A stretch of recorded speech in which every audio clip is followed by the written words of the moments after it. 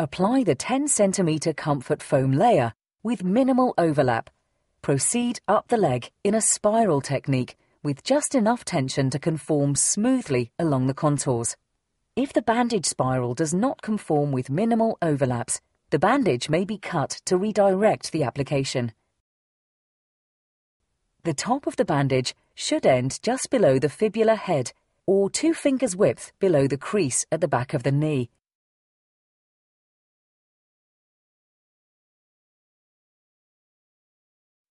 Cut and using light pressure, mould to the anatomy.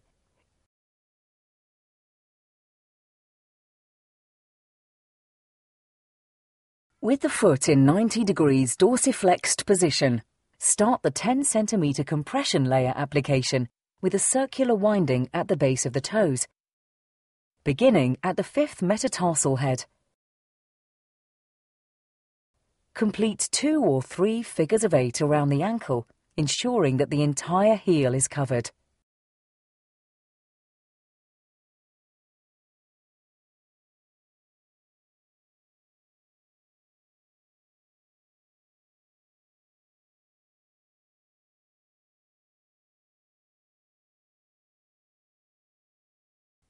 Proceed up the leg with 50% overlaps at 100% stretch, ending the application approximately 7.5 to 10 centimeters below the ending of the comfort layer. This will allow the comfort layer for the knee and thigh to overlap with the lower leg comfort layer for secure cohesion. As you end the application, apply light pressure and cut off the excess material. If bulges are noted after the application, apply additional compression layer until the limb appears smooth.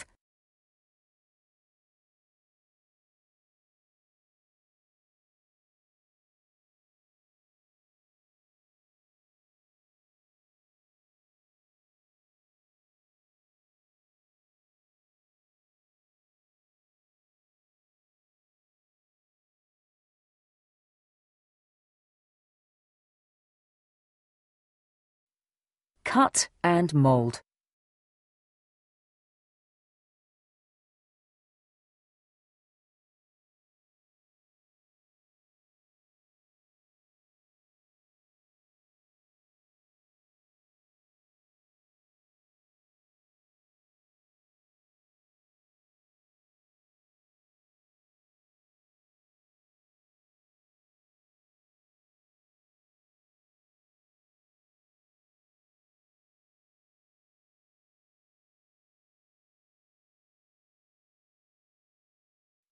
To continue the upper leg bandage application, select the 15 cm comfort foam layer and reposition the patient to a standing position. Flex the knee by placing a roll of bandage under the heel. Apply the comfort foam layer by minimally overlapping with the comfort layer below the knee. Cover the knee with a spiral or figure of eight technique to ensure that the middle of the bandage is positioned over the articulating surface and crease of knee. Proceed to the top of the leg. Keep the overlaps as minimal as possible.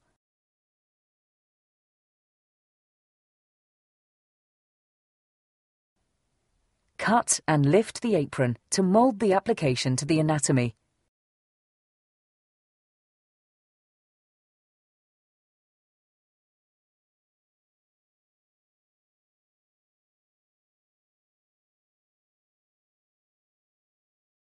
Begin the 15 cm compression layer application with a 50% overlap of the below knee bandage.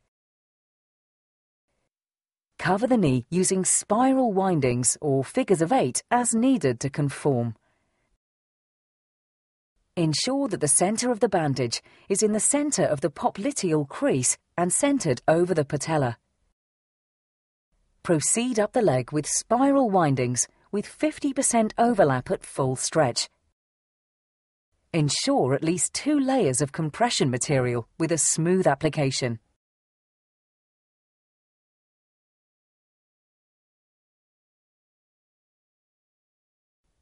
Cut and mould the entire application to conform to the anatomy.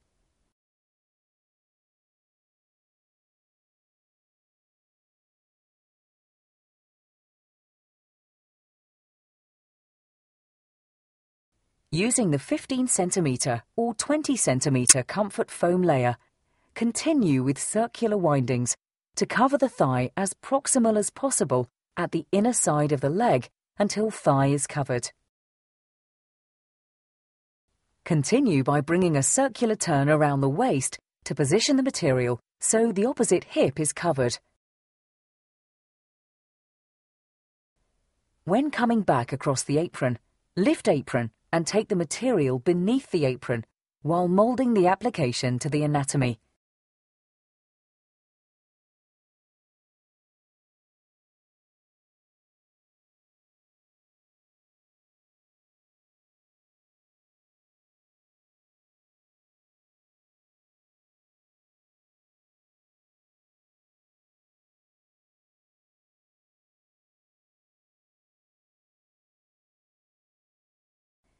Apply additional windings to fully support the apron as needed.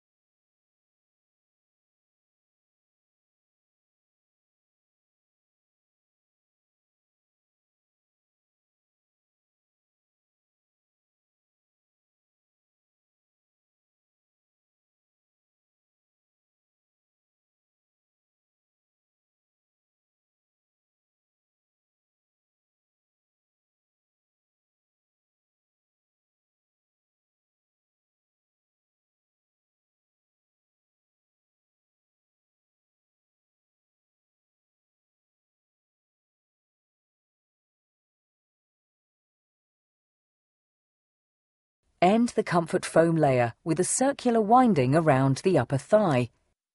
Cut and mould.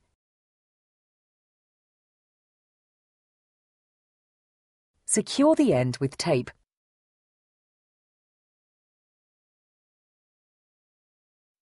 Apply the 15 cm compression layer at full stretch with circular windings around the upper thigh.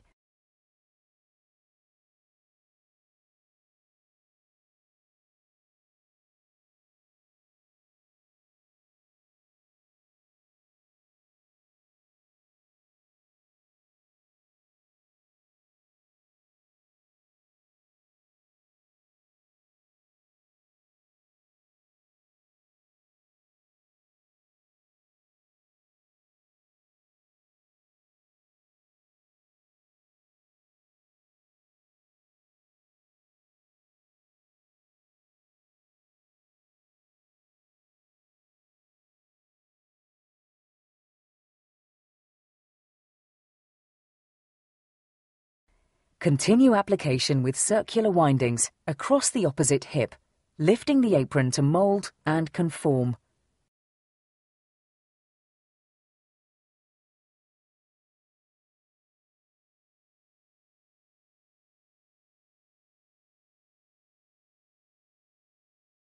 Apply additional windings to fully support the apron as needed.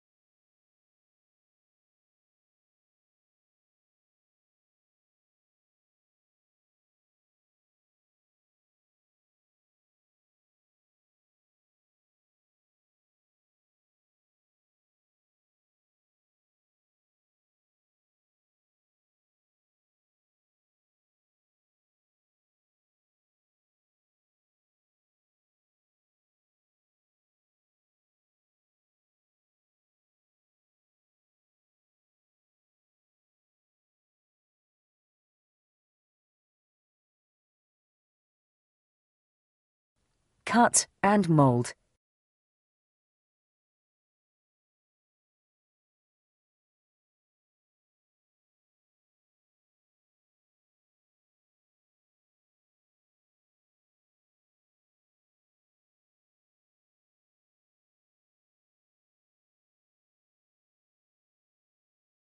Additional compression strips may be used to create a sling that provides additional support of the abdominal apron.